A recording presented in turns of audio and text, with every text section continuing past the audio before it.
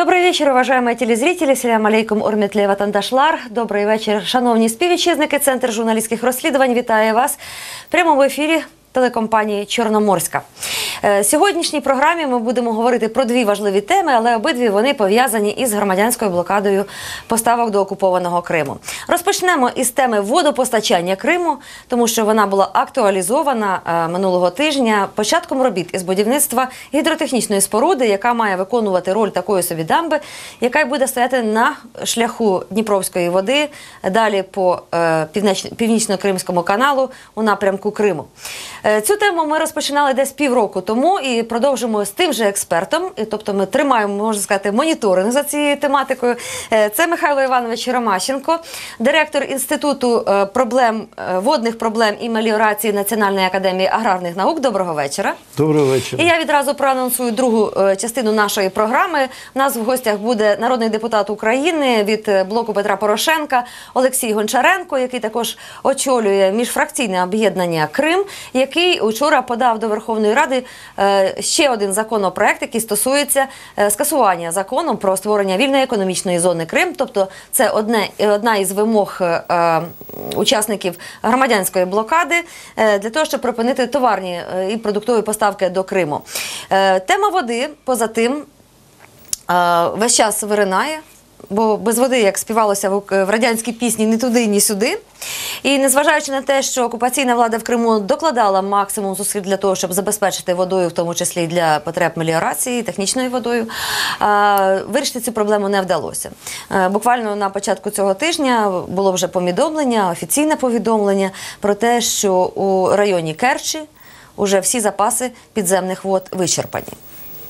Як ваш інститут, як ви, як фахівець, як експерт, оцінюєте на сьогоднішній день е, забезпечення Криму водою, потреби Криму в воді? І до чого призвела та політика, яку ми спостерігали упродовж цього року, і забезпечення, яку провадила кримська влада? Ну, практично підтвердились ті прогнози, які ми з вами в попередній передачі Навесні. навесні робили. І ще раніше я Крим Реалії приймав участь в передачі, коли я говорив, що запаси власних водних джерел Криму достатні для вирішення проблеми питного забезпечення, забезпечення південних, південного берега, гірської частини, передгірської частини Криму, ну, можливо, степової.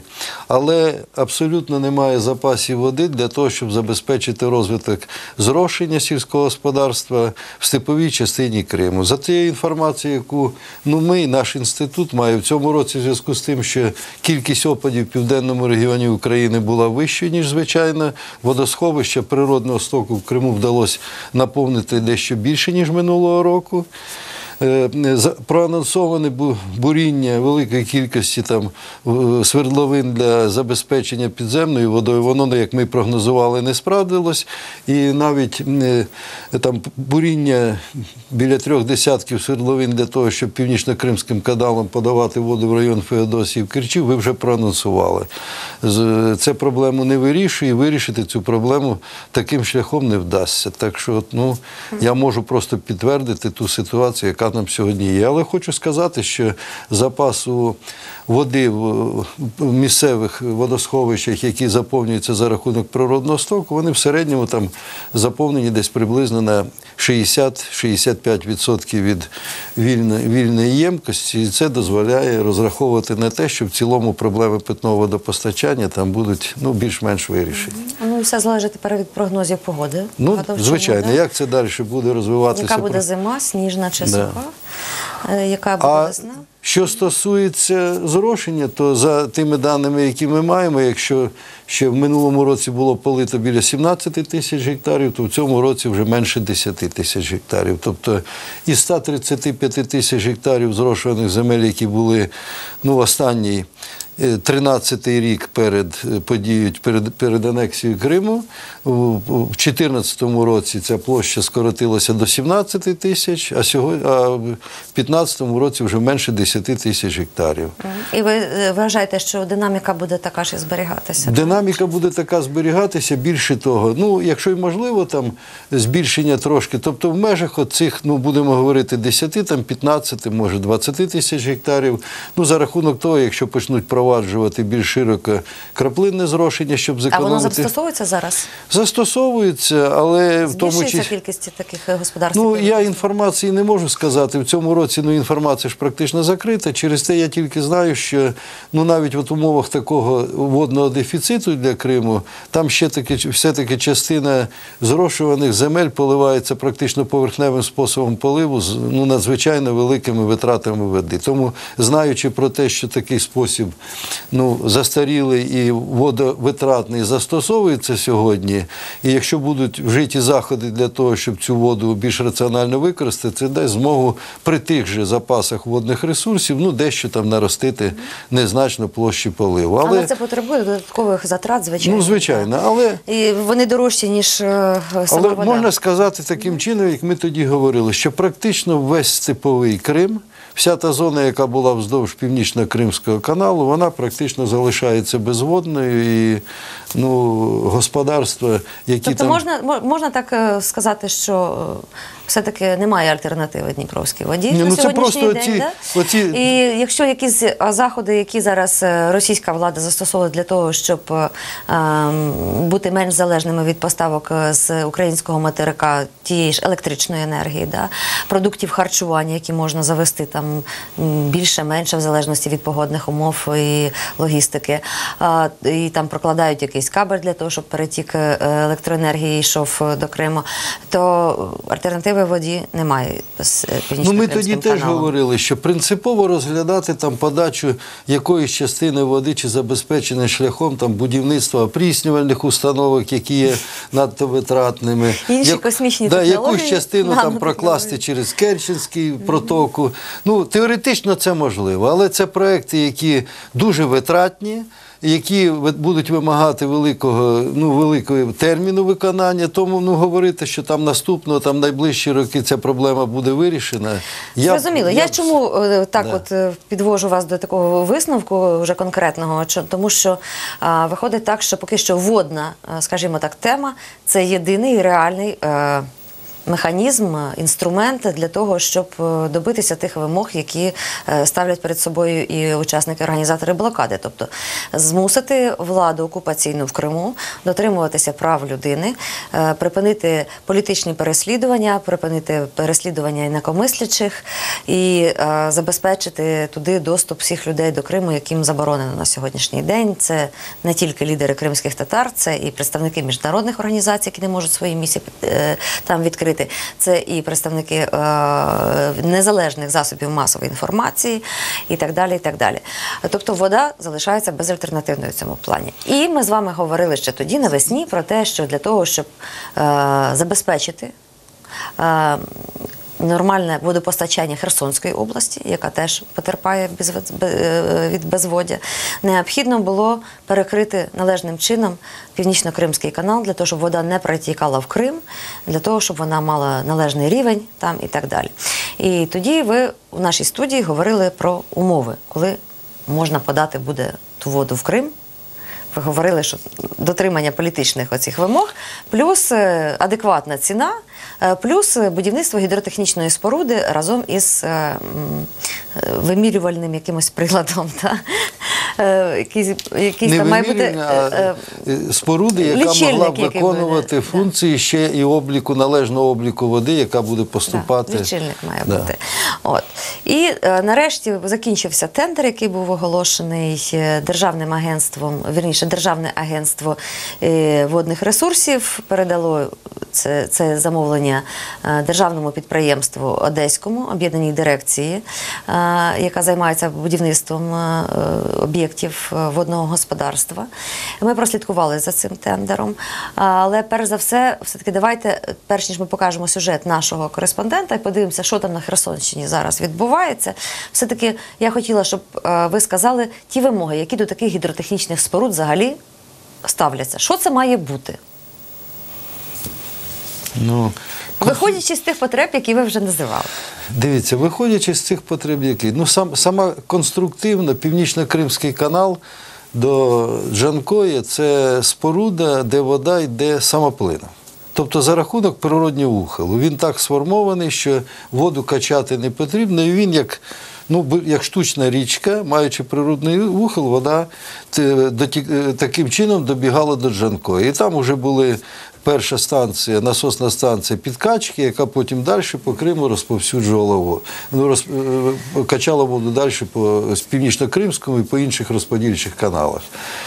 Е, В зв'язку з тим, що коли це подія, коли вода поступала в Крим і канал е, на території Херсонщини завжди був заповнений до належного рівня, це давало можливість е, розбирати з цього каналу воду по каналах е, більш низького порядку для зрошення е, в Херсонській області, от цих районах, які до цієї споруди, до цього каналу, там, по яких він проходить.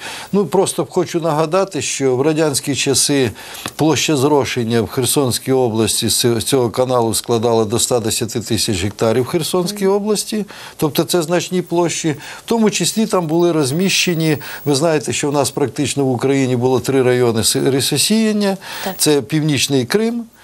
Це Херсонська область і це Одеська область. От, е, там розміщені е, Чеки. чек, чек, ну, рисові системи чекового типу переважно, де витрати води е, значні, біля 20, а то й більше тисяч метрів кубічних на гектар. Сьогодні там зрошується біля 8 тисяч гектарів рису в Херсонській області, і біля 25 тисяч гектарів залишилось звичайного зрошення. Тобто там порядка 33 тисяч гектарів сьогодні зрошується. От для того, щоб забезпечити потребу в зрошенні на цих, потрібно, щоб рівень води в північно-кримському каналі, от на ділянці Херсонської області, підтримувався ну, практично на Це тому. зрозуміло. Да, і для цього потрібна споруда. І Що це має бути? Просто дамба насипана. Якщо ми не даємо воду в Крим, що це має бути? Ну. Є такі споруди взагалі в Україні ще в Ну, якихось ця місцях? споруда, ця споруда Це ж не шлюзи там мають бути, які там Ні, шлюзи. В зв'язку з тим, дивіться, в зв'язку з тим, що е, ну так як у мене є інформація, що планувалось, я не знаю, в якому проєкті було реалізований, але там потрібно не шлюзи, а там затвори повинні були бути, які там ну, шляхом того, що ти відкриваєш чи закриваєш затвор, пропускаєш певний обсяг води після цієї споруди. Тобто вона з одного боку мала яку функцію? Перекрити, коли ці затвори закрити подачу води І і, не не воду, пропускати. якщо? Да, якщо, ну так як і вода поступає в сам північно-кримський канал на головні споруди, піднімаються затвори, вода з Каховського водосховища починає наповнювати північно-кримський канал. Точно так і там піднятися мають затвори.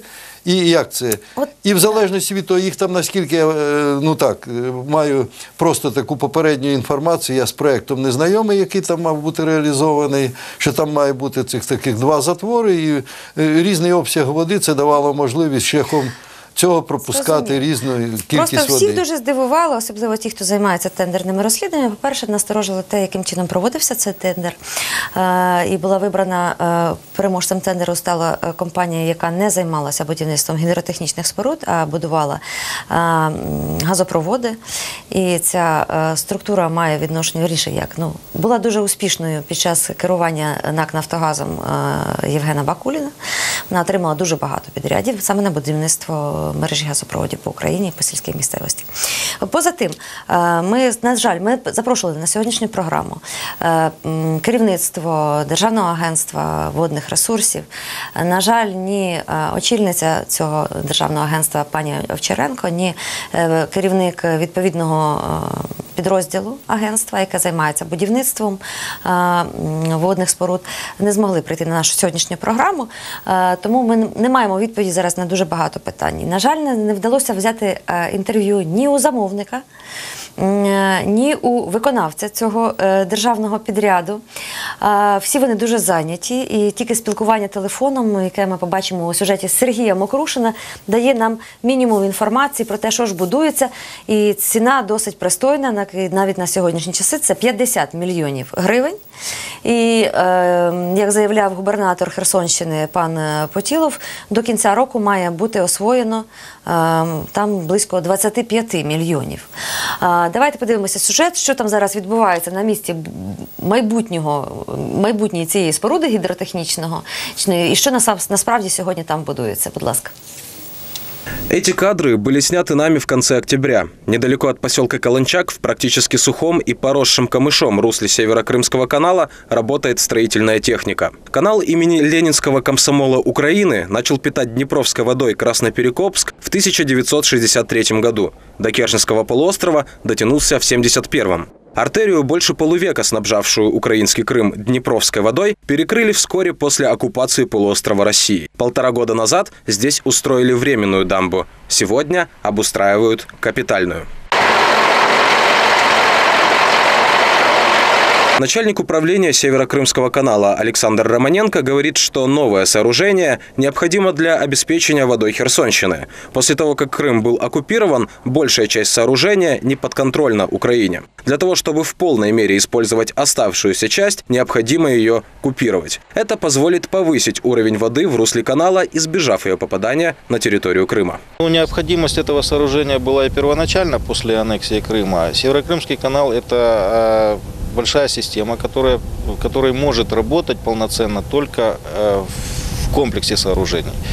Учитывая, что система эта была разорвана в связи с аннексией Крыма, естественно, необходим, возникла необходимость э, в строительстве данного сооружения. Прежде всего и основное ее назначение, единственное, скажем, это обеспечение водными ресурсами и Херсонской области, скажем, поднятие уровенного режима и полноценной работы Северокрымского канала на территории Украины.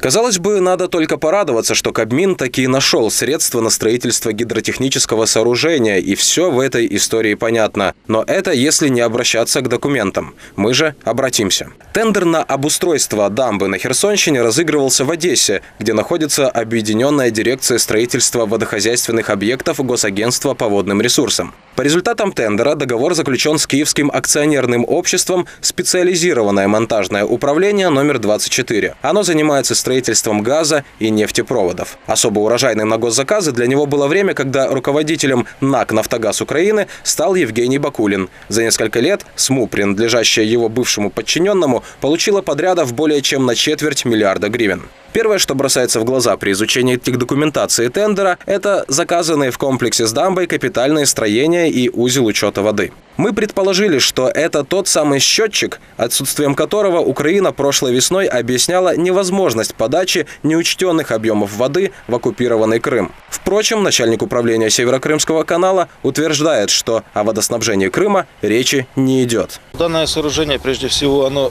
предусмотрено для обеспечения воды. Э, По учету воды, это вода, которая предусмотрена сброс воды при аварийных ситуациях, при каких-то технических работах.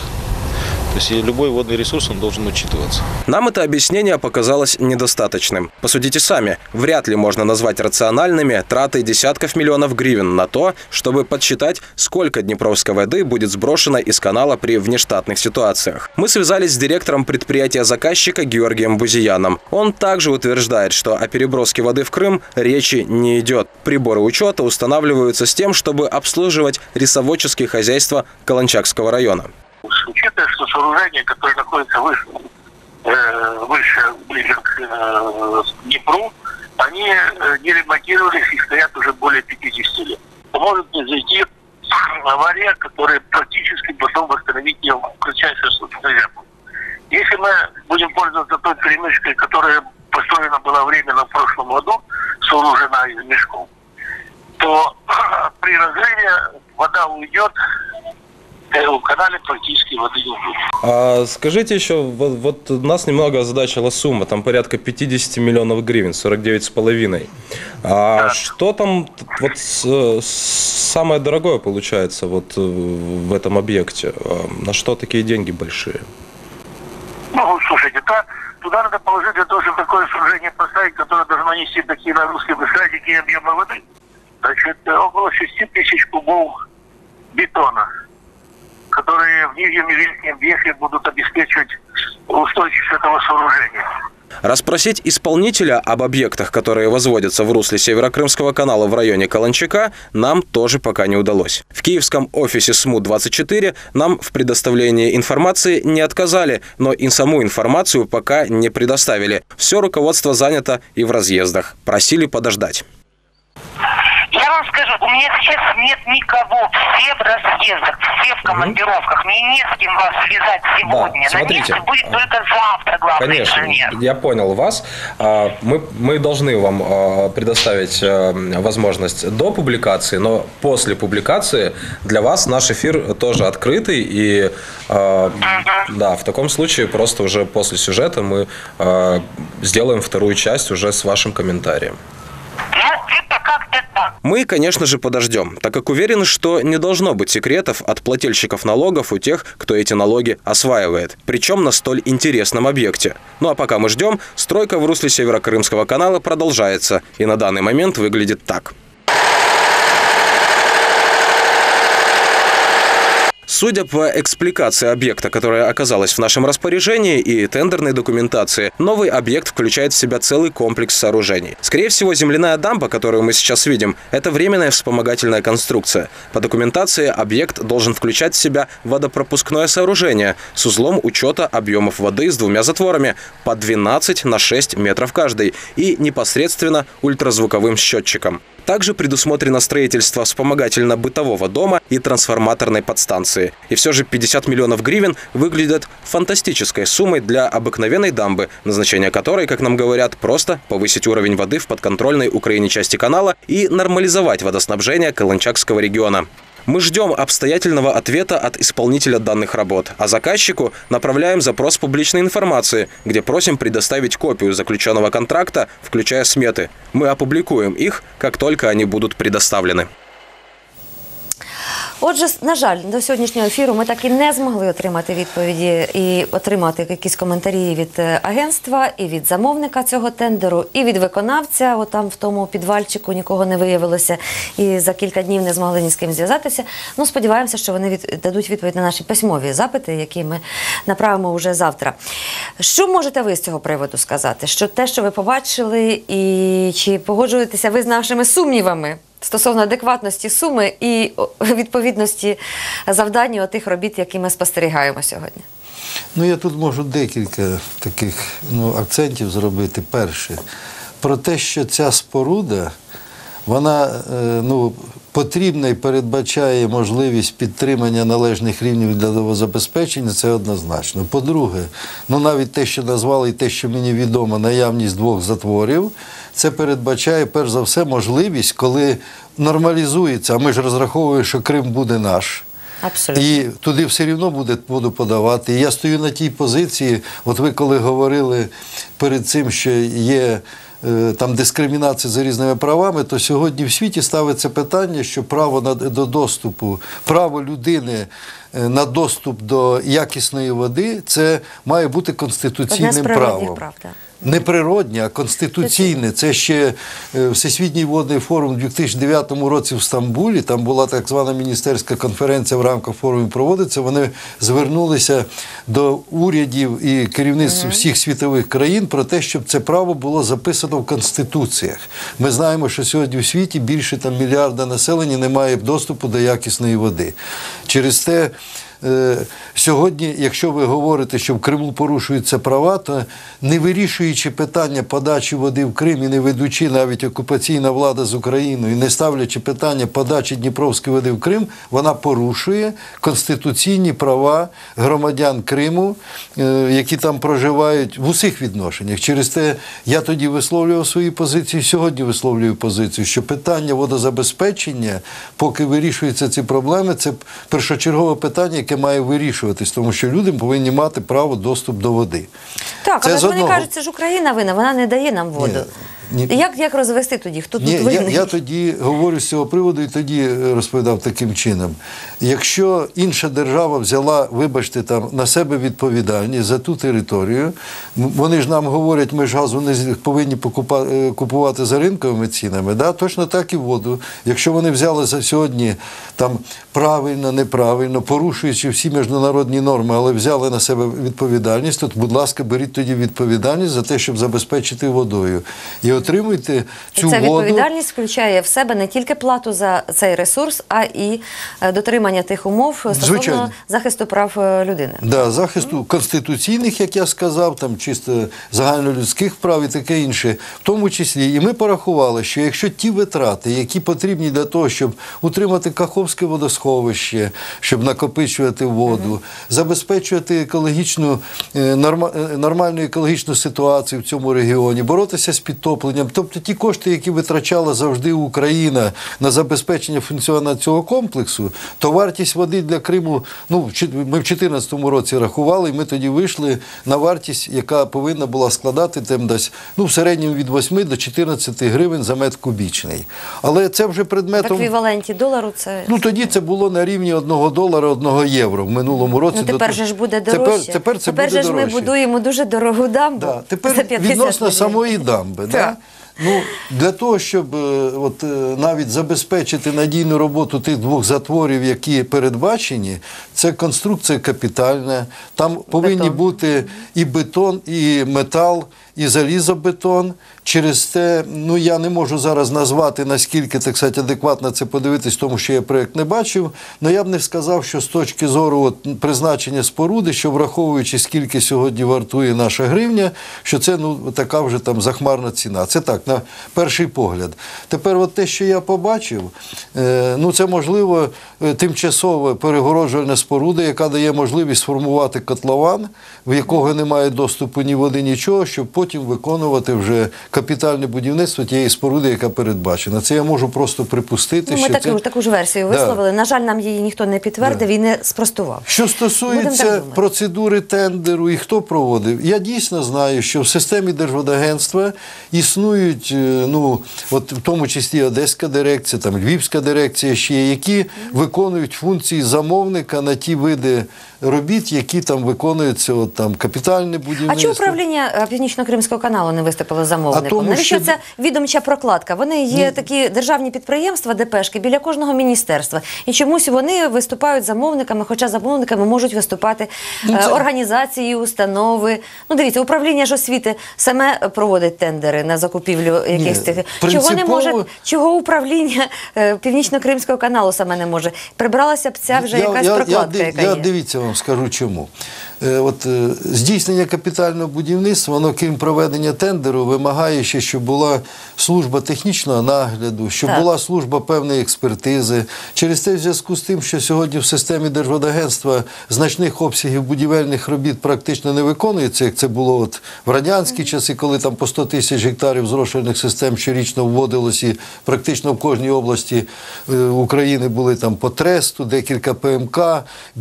У кожній області практично була дирекція будівництва, яка виконувала ці функції замовника. Сьогодні, от виходячи з тих обсягів, там створено ну от декілька. Я навіть не знаю скільки. Знаю, що є Одеська, по-моєму, Львівська. Там Та майже в кожній області щось таке є. Нема, немає таких обсягів. Да? І от е, в зв'язку з тим, що завдання будівництва це не просто провенди- провести тендер, а ще й повинна бути служба, яка потім здійснює контроль, відповідне приймання там і все таке інше. Це на цей період треба приймати фахівців, які, наприклад, в управлінні Північно-Кримського каналу, от такого будівництва, е, з фахівців з будівництва, їх немає. От було створена така система. Наскільки вона там обґрунтована, чи наскільки ефективно працює, це вже ну, Наскільки затратне це Да, адміністрування, затратне, да, треба дивитися окремо. Це вже треба подивитися окремо. Да? І як там був прозоро чи не прозоро проведений тендер, що це за організація, яка виграла? Це вже Я ці питання вам абсолютно да, не задаю. не Навіть мене. Е, мені було цікаво почути вашу точку зору стосовно того, наскільки зараз ті ж роботи, які проводяться, наскільки вони виправдані, і що ми Ну, це взагалі якщо бачимо. тільки от розглядати Оце тільки ці якщо роботи, наша версія, версія з вами, що це тимчасовий такий така дамба, Ну, що це підготовчі якої, роботи до будівництва буде- головної да. споруди.